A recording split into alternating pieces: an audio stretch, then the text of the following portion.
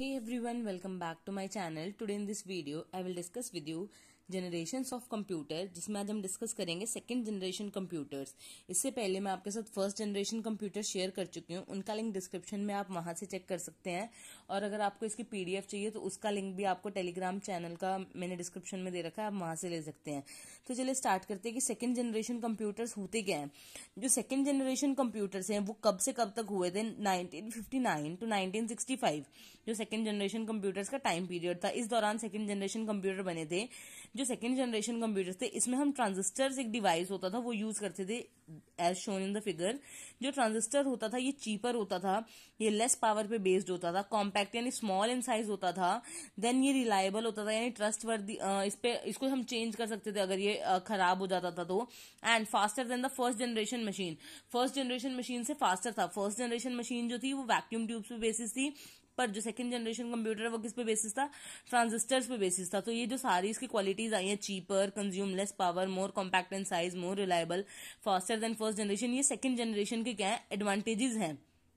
Magnetic core were used as primary memory and magnetic tape and magnetic disk as secondary storage device इसमें हम magnetic core use करते थे primary memory का source primary memory को हम main memory भी बोलते हैं तो second generation computer में magnetic core use करते थे magnetic tape और magnetic disk को हम जो है secondary storage की form में use करते थे इसमें हम journal assembly language और high level language use करते थे जैसे F O R T R N Fortran and COBOL ये हम यूज़ करते थे इसमें जो काम होता था वो बैच प्रोसेसिंग और मल्टी प्रोसेसिंग दोनों ऑपरेटिंग सिस्टम के बेसिस पे होता था।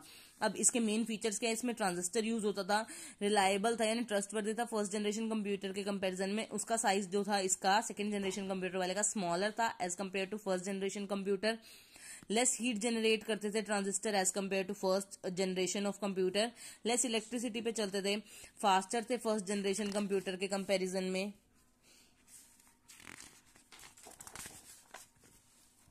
देन ये आर वेरी ये जो है, फिर भी कॉस्टली आता था, क्योंकि जो ट्रांजिस्टर का डिवाइस होता था, वो बहुत ज़्यादा कॉस्टली आता था। इसमें एयर कंडीशनिंग की रिक्वायरमेंट होती थी। मशीन और असेंबली लैंग्वेज के बेसिस पे वर्क करते थे। सेकेंड जनरेशन कंप्यूटर के कुछ एग्ज़ाम्पल है। I B M one six two zero I B M seven zero nine four C D C one six zero four C D C three six double zero and U N I V A C double one zero eight ये था second generation computer से related जो next generation है, उसको मैं next video में discuss करूँगी. उनका लिंक डिस्क्रिप्शन में दे दूँगी. आप वहाँ से चेक कर सकते हैं. अगर आपको कुछ डाउट है तो आप पूछ सकते हैं. स्टेट यून for more videos and thank you for watching